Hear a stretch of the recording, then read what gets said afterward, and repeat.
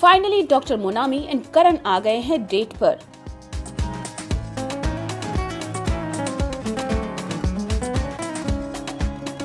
जी हाँ और ये डेट है candle light lunch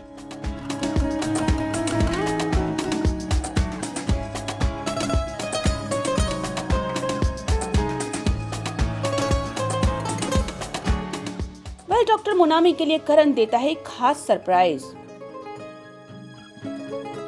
अंधेरे में डोर ओपन होता है जिसे देख मोनामी सरप्राइज़ हो जाती है। लेकिन जैसे ही लाइट्स ऑन होती हैं, उसे मिलता है डबल सरप्राइज़ क्योंकि करण ने प्लान किया हुआ है एक खास लंच। वेल आपको बता दें कि करण के इस प्लानिंग में फैजी भी शामिल है। एजेंट शेखर ये स्ट्रैटेजी ये प्लानिंग आपकी? I wish I could say that. But being honest, uh, ये फैजी की प्लानिंग आई थिंक वो चाहता है कि हम एक अच्छा सा लंच साथ करें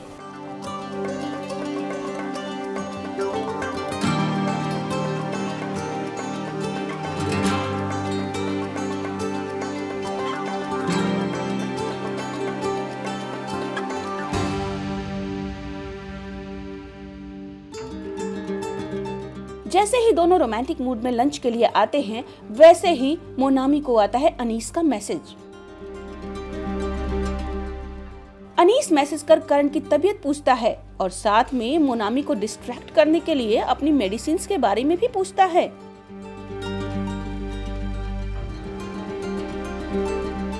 दरअसल अनीश चाहता है कि इन दोनों की ये डेट स्पॉइल हो जाए।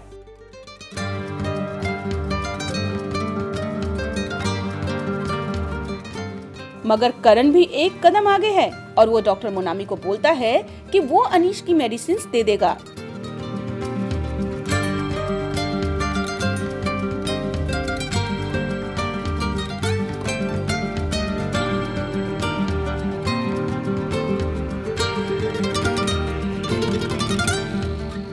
वेल, ऐसे में क्या करण और मोनामी की ये लव स्टोरी आगे बढ़ेगी? या फिर अनीश होगा अपने इरादों में कामयाब?